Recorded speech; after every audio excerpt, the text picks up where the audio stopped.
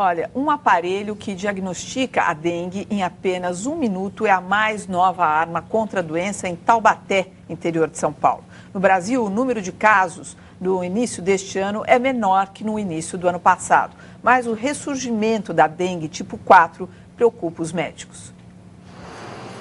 Segundo o Ministério da Saúde, até o dia 26 de fevereiro, foram notificados mais de 155 mil casos da doença em todo o país número 37% menor do que no mesmo período do ano passado.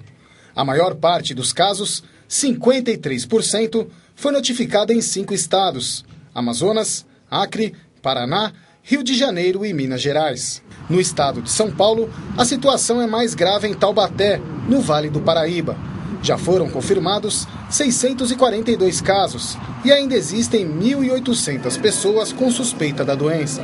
O município está em estado de epidemia e a população assustada. Teve bastante casos, uns 4, 5 na, na mesma rua. Nesta semana, no pronto-socorro municipal, começou a funcionar um aparelho que diagnostica a dengue em apenas um minuto. Basta um pouco do sangue retirado da pessoa com sintomas. O equipamento faz um hemograma e imprime o resultado, que vai ajudar no diagnóstico. Chegou o paciente, fez o exame, em questão de minutos estará pronto e nós médicos poderemos tratá-lo da maneira mais perfeita possível, mais rápido possível.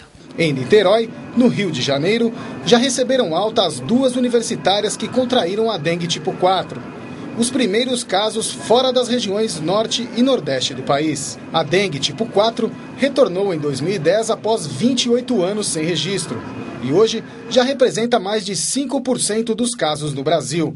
Segundo este especialista, a dengue tipo 4 não é mais potente que os outros tipos.